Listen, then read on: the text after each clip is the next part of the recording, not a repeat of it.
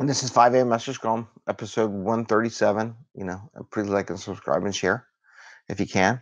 And uh, they're the one to say no. And the reason why we're because I heard stuff and some reason in the car yesterday after I was picking up my kids and my wife from their uh, swimming class um, is the word no. And I and I kind of felt it at the the um, PI um, session the other day and uh, the idea of no, right? And that was some reason I dawned on me, and I'm like, hey, I'm gonna I'm gonna talk about this tomorrow.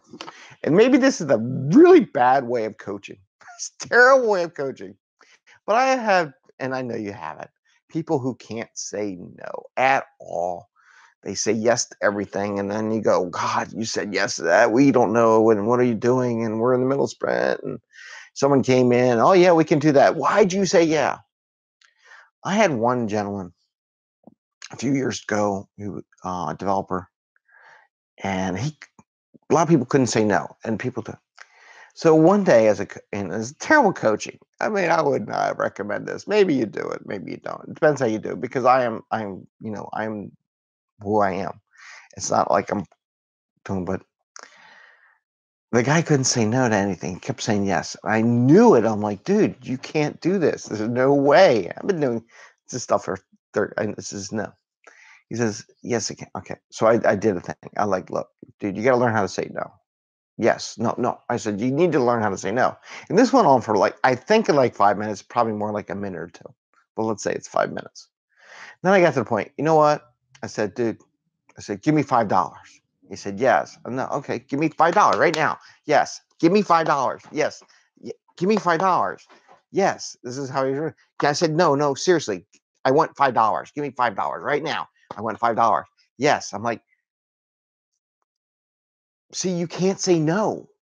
And I can find something surprised. Like, look, I'm asking you to give me five bucks. You can't even say no to not give me five bucks, right?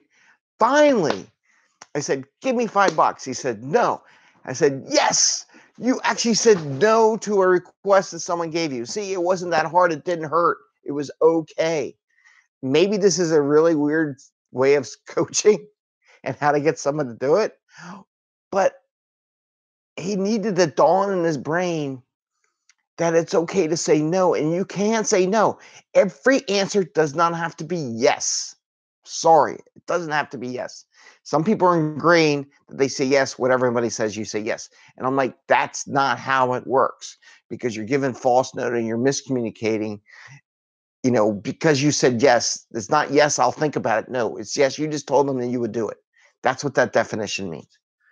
So it was a weird thing. Like I said, for five minutes, I go, give me five bucks. And he would say, yes. I'm like, okay, give me the five bucks now. Take it out of your pocket. Give me the five bucks. Yes. I'm no, no, seriously. Give me five bucks. I want your five bucks out of your pocket. Give it to me now. And it took him like a minute or two after I said, look, you can say no to giving me five dollars. It's okay. And then finally in the end, he says, when I said, give me five dollars, he said no. And I go, yes. That's exactly what you should have said in the first place. And that didn't hurt that much, did it?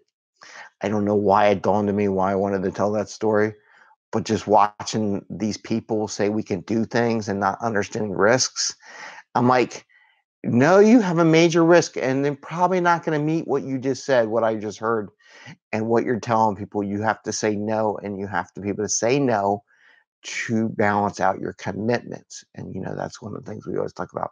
It's how you get home in a decent time. You don't overcommit.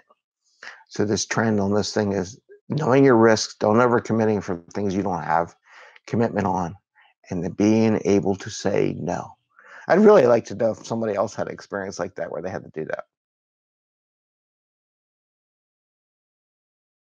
47, we're late. Hey, we're going live, going live. We're live. This is 5 a.m. Mester Scrum. Hope you're doing well. It is Friday. Yay. So I don't know about some people, it's already done. The whole week's over. So good for you for overseas. This is episode 137 of the 5 a.m. Mester Scrum Show.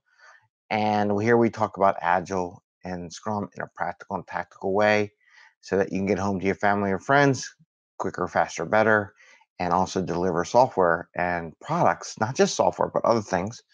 And we talk about other things outside of software and IT um, to your customers quicker, faster, better without the stress and the craziness, but also some fun.